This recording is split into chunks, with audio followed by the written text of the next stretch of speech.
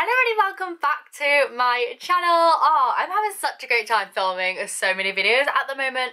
Basically, what I'm doing right now is I'm trying to film a video every day to give you a little bit project just to get crafting and doing DIYs and stuff throughout the time that we're all staying at home. I hope you're staying at home, staying safe, staying healthy as much as you possibly can, not only for you but for others as well. So yeah, I am making some loads of DIY projects. Actually, every single day I'm trying to come back to you and bring you something a little bit different, whether it's a squishy, a plushie, a charm, something a little bit different like my vending machine yesterday, just trying to switch it up a little bit and give you a little bit of cuteness in your life through these testing times. All of my videos are obviously family friendly. You can do them at any age. I'm an adult doing these, so do not be afraid if you are an adult to click that subscribe button still. We all love cute stuff here. It doesn't matter how old, how young you are um yeah it's just all about the cute stuff here. So anyway today's video i made this little squishy marshmallow out of a dish sponge. Basically i want to be able to bring you some more kind of um, materials that anyone else must you know already have um, in their home to save you going out and feeling like you need to buy stuff, that sort of stuff. We want to stay in as much as possible. So yeah, I made this out of a dish sponge today and I'm going to share with you how I did that. So this is the dish sponge that I'm going to be using for today's um, DIY. It does have a scouring pad on one of the sides. So what I did was I just pulled that off, set it aside and I'm just going to use that to clean up some stuff in my garden. I then cut the sponge in half and using this glue, this by the way is the best glue for squishy making I've ever tried. I've I've been saying it so often in my recent videos, but I used that glue to stick the two halves of the sponge together. Once I had that kind of stuck, I left it for around about five minutes and then started cutting away at the foam, making it into a cylinder shape, smoothing out as much as possible so that I could get it nice and smooth. The sponge on this sponge was really staticky so it kept sticking to my scissors as you can see there. So I kept having to wipe it off to get it off of them rather than it just falling off. But other than that I didn't really notice any difference between this and normal kind of you know foam that I use anyway. I did find that it split open a little bit towards the ends when I cut it down so I just went in and glued those together holding them down to secure and then just left it for around about 10 minutes just so that could sit and just really grab hold. Once it did, I inserted a piece of wire into the bottom. I usually use a barbecue skewer or a cocktail stick, but I can't find my packet at the moment. So like I said, I just took some craft wire, bent it in half, and then stuck it through the little marshmallow.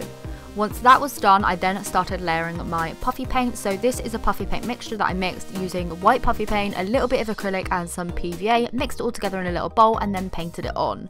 These are all of the layers when wet and when dry. When it dries, it kind of like brings back the holes a little bit more, so that's when you need to put on another layer. And you want to keep building it up until basically you get to layer four when there's no holes left in the kind of foamy outsideness of it. So once done, you then want to remove whatever you had stuck in the marshmallow to keep it upright when painting. And in my case, that was the craft wire. I had the hole and that was why I decided to put a chocolate drip on that side. To be honest, I probably would have liked to put it on the other side because that side was a little bit more lumpy bumpy where I hadn't smoothed out right. But because I had the hole on this side, it makes more sense to just do the drippy chocolateness on this side so I could cover that at the same time.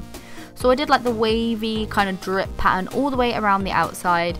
I then went in and filled in all of the top using the tulip fabric paint in the colour brown by the slick one as this looks really like life-like chocolate. Well at least I think so.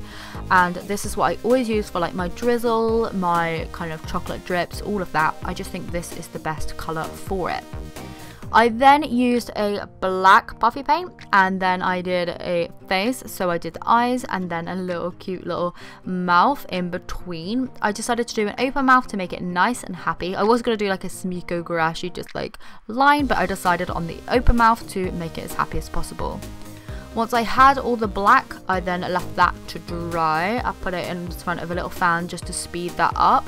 And then I went back in and I painted the tongue on using a light pink and I painted some light pink blush either side of the eyes as well. To add highlight to the eyes, I just added a dot of white puffy paint to each of them in the top right hand corner. So I actually just dropped it on my desk there, but once all of the face and everything like that is completely dry, as you can see here, my squishy is then complete. So I did the mouth and the blush in a really, really pale pink. I'm not sure if you can see it on my camera because my camera is super bright with all my lighting at the moment.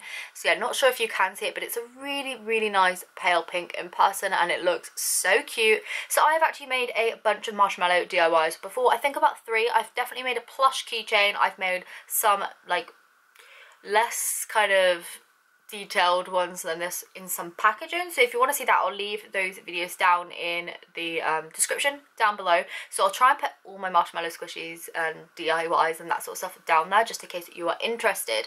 But I'm really really happy with how this has come out. It's turned out nice and chunky since you know sticking those two pieces of foam together. I have got all of the offcuts still just hanging around on my desk. I always save them to make paper squishies. So let's just give it a squish test shall we taken forever to get to the point. Look at this. Nice and slow due to all those layers that I put on. I think this one here I did four layers on. I'll be able to look back when I edit the footage. If you find it does get a little bit too slow, what you can do is just go in at the bottom or at the back or something. Just stab some holes in it in the little marshmallow stab some holes and that will allow the air to get back in and out just really really well nice and flowy, you know. It will increase the rising time. So I love a super slow squishy anyway. I just think it's so satisfying. But I don't like it to take up my whole day rising back, you know. So I like to have a happy medium. So you just go in with a few little kind of stabby little dots as you just seen there. That works out well. So the top of this is actually painted with the Tulip Slick Paint in the colour brown. This is the one I always use for chocolate because it looks so chocolatey. At this point, I am really craving chocolate. So yeah, I think that looks really nice. looks quite delicious, I'm not gonna lie. So anyway, I hope you have enjoyed today's video. If you did, please do give me a thumbs up. It really does help me to know what type of videos to bring you. I am asking for people to like the videos that they like, you know, just so that I know what you want to see coming forward. The ones with the most likes, I'll do more of. So yeah, hopefully you have a great day and I will see you very soon for another video. Bye!